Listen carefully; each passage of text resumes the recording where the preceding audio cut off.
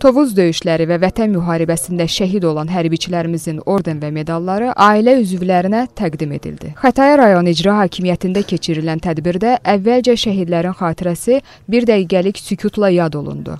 Daha sonra İlqar Mirzəyev, Ceyhun Həsənov, Şikar Nəcəfov, Arif Abbaslı və Barat Quliyevin orden və medallarını təhvil alan ailə üzvləri keçirdikləri hissləri tədbir iştirakçıları ilə bölüşdü.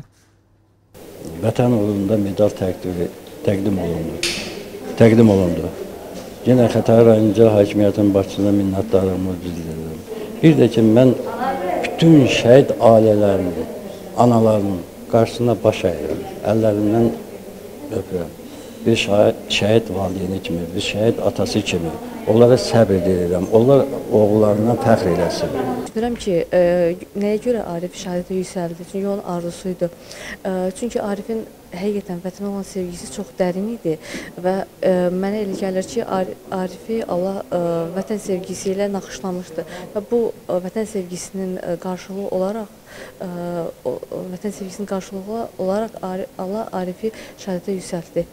Mən çox fəxr edirəm Ariflə və bilirəm ki, onun ruhu şaddır. Milli qəhrəman oğlu olaraq daim fəxr edəcəm. Ölünə kimi bu adı daşımaq mənim üçün hər zaman fəxrli olacaq. Ananın sağlığında hər zaman ona deyirdim ki, səninlə fəxr edirəm ata. Və bu gün də ölümünə sonra da mən ona hər zaman deyirəm, o məzarını ziyarət edərkən hər zaman deyirəm ki, mən səninlə fəxr edirəm.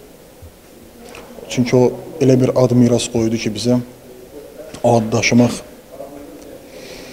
çox qürurludur. Sonda şəhid ailələrinin üzvləri ilə xatirə şəkilləri çəkildi.